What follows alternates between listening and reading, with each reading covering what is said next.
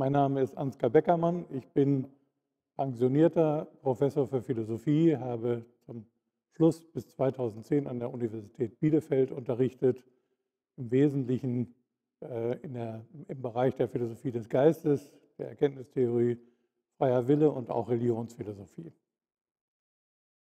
In der Philosophie ist eigentlich alles umstritten und auch, was Philosophie eigentlich ist.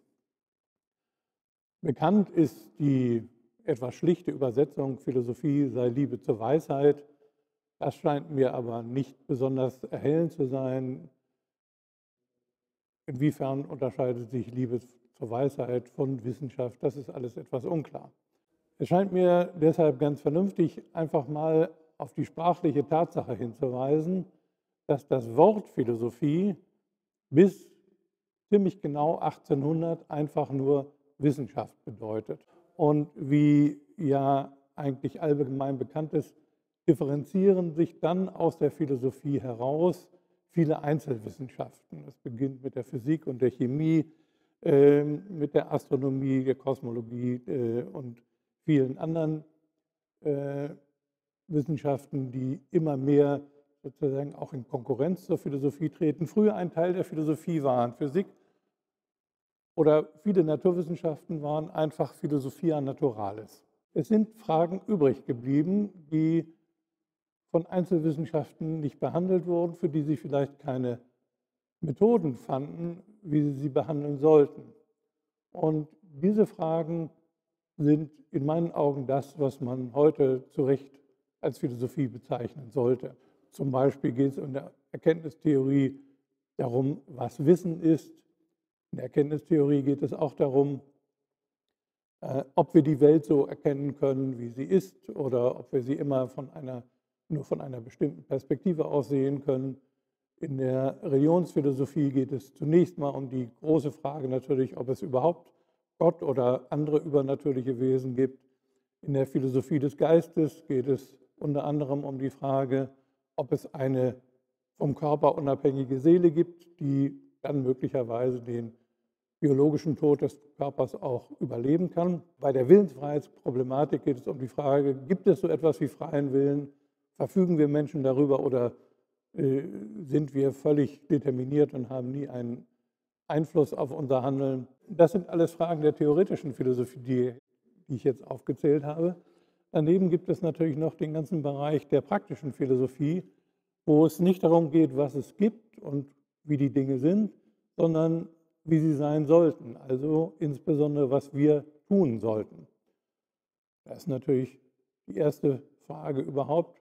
Gibt es so etwas wie, äh, ich nenne es mal normative Tatsachen, also ist es objektiv so, dass man Menschen nicht ohne Grund quälen darf? Oder erfinden wir die sozialen Normen eigentlich im Laufe der Entstehung menschlicher Gemeinschaften? Es gibt die Frage, was ist eine gerechte Gesellschaft? Wir kennen alle die zehn Gebote, äh, unter anderem äh, vielleicht auch das Gebot, das von Kant so überhört worden ist, du sollst nicht lügen. Gilt das tatsächlich immer? Gibt es Ausnahmen? Wenn ja, wie kann man diese Ausnahmen begründen? Es gibt andere, aber zum Teil auch sehr praktisch virulente Fragen, wie zum Beispiel haben menschliche Embryonen vom ersten Tag an den Status von Mitgliedern äh, der Gesellschaft, denen volle Menschenrechte zustehen, wie ist es am Ende des Lebens? Wie ist es zum Beispiel mit der Organtransplantation? Ist ein Hirntoter wirklich tot und dergleichen mehr? Alles das sind philosophische Fragen, von denen ich nicht sehen kann, dass man sie mit empirisch-wissenschaftlichen Methoden beantworten könnte. Das Selbstverständnis der analytischen Philosophie hat in den 100 Jahren, in denen es sie gibt, sich vollständig verwandelt. Zu Beginn war die analytische Philosophie explizit,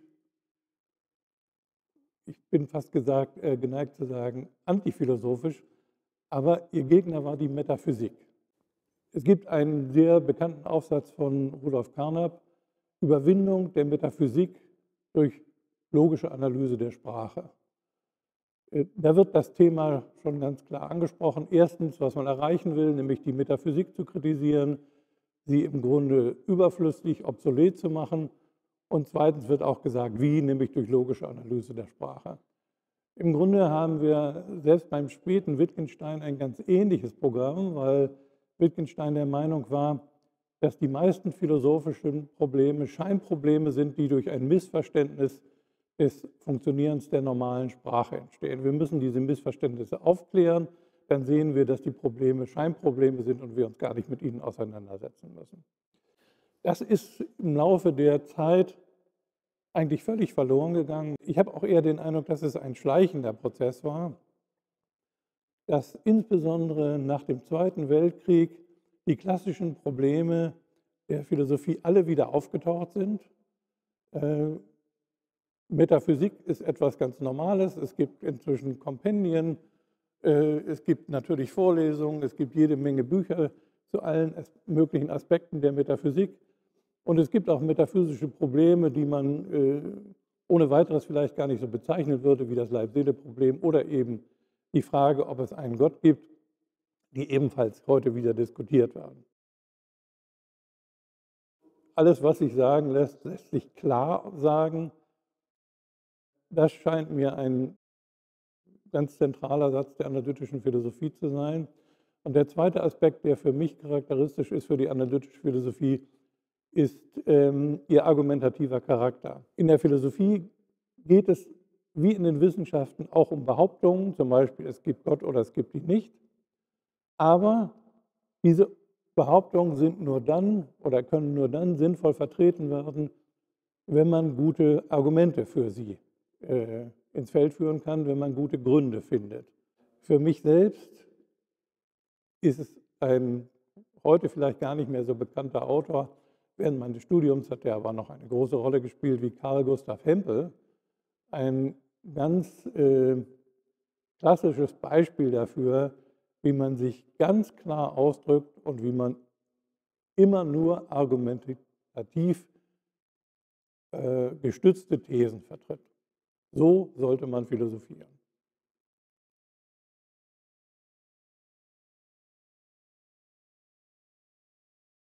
Es hat sich eine Tendenz, ich will das einmal so formulieren, herausgebildet, jedes Argument so weit auf die Spitze zu treiben, jedes Argument so bis in die letzten Details zu analysieren, dass man den Eindruck, dass man erstens den Eindruck verliert, wie das große Ganze eigentlich oder wie das, was da gerade äh, äh, behauptet wird, analysiert wird, mit dem großen Ganzen zusammenhängt. Und es wird so weit analysiert, äh, dass es irgendwie langweilig wird. Äh, also ich kann gut verstehen, dass viele Leute, die sich mit dieser Art von Detailarbeit beschäftigen, äh, der Philosophie den Rücken kehren und sagen, nee, also das will ich jetzt nicht machen. Ich wollte eigentlich in größeren Linien erklärt wissen, wie es zum Beispiel mit dem Leib-Seele-Problem steht. Es ist mir klar, dass man diese Einstellung auch wieder kritisieren kann, die ich gerade geschildert habe, weil man ja zu Recht sagen kann, wir können doch das, das Gewicht eines Arguments nicht wirklich einschätzen, wenn wir es nicht bis ins letzte Detail analysiert haben. Das gestehe ich zu. Trotzdem bleibt mein Eindruck, es wird irgendwie langweilig und unattraktiv. Irgendwann, äh, dann kippt es sozusagen und man verliert das Interesse. Das ist übrigens etwas, was ich am Anfang, als ich anfing, Philosophie zu studieren, nicht gedacht hatte, dass auch die Philosophie Moden unterworfen ist, und zwar in einem sehr, sehr viel größeren Ausmaße, als ich mir das je vorstellen konnte. Es gibt vielleicht, Gott sei Dank, vielleicht leider auch in der Philosophie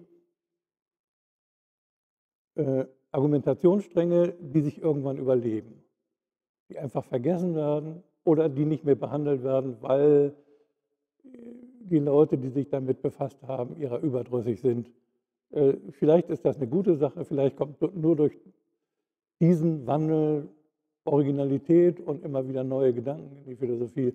Aber es ist auf den ersten Blick sehr verblüffend.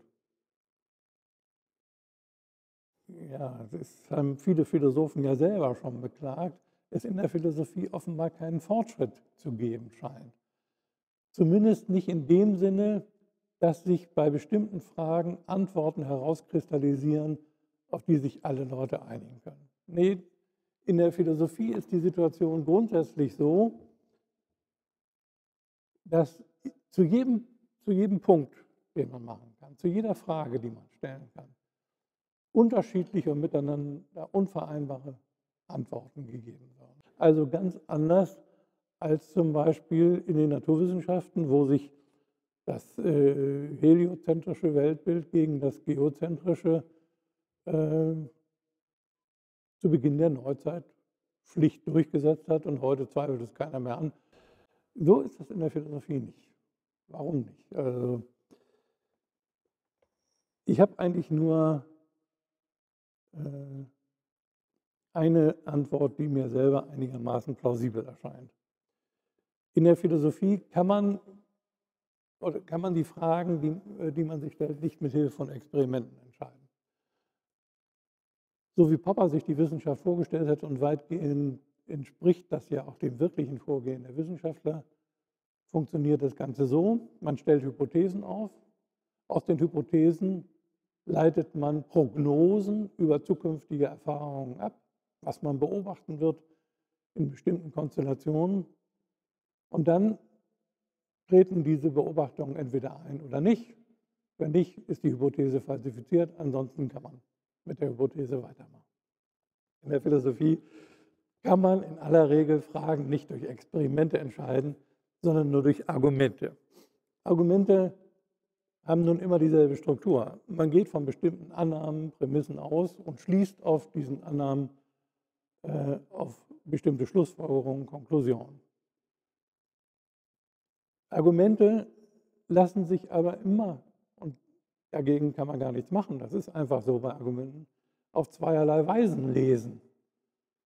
Man kann ein Argument so lesen, dass man sagt, die Prämissen sind plausibel, also ist die auch die Schlussfolgerung plausibel. Man kann es aber auch so lesen, dass man sagt, die Schlussfolgerung ist doch völlig absurd, das ist doch ganz kontraintuitiv, was da geschlussfolgert ist, also muss an den Prämissen was falsch sein. Also, alle Annahmen, von denen man ausgeht, können ihrerseits in Zweifel gezogen werden. Und je nachdem, ob man die Prämissen oder die Konklusion für plausibler hält, kommt man dann einfach zu unterschiedlichen ähm, ja, Bewertungen des Arguments.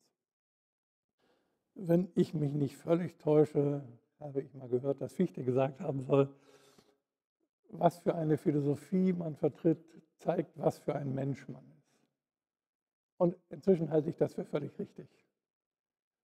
Es kommt darauf an, welche Grundhaltung man gegenüber der Welt hat, welche Prämissen man für wahrscheinlich und welche Konklusionen man für unwahrscheinlich hält.